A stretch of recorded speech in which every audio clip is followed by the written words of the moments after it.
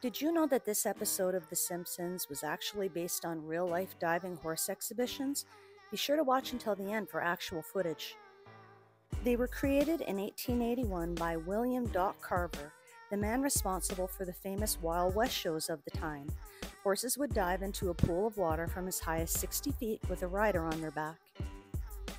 They became so popular that by 1924 he had two diving horse shows on tour, and they eventually found a permanent home in the 1920s in Atlantic City, becoming one of the city's top attractions for over 50 years until pressure from animal rights groups and dwindling crowds made them close in the late 1970s.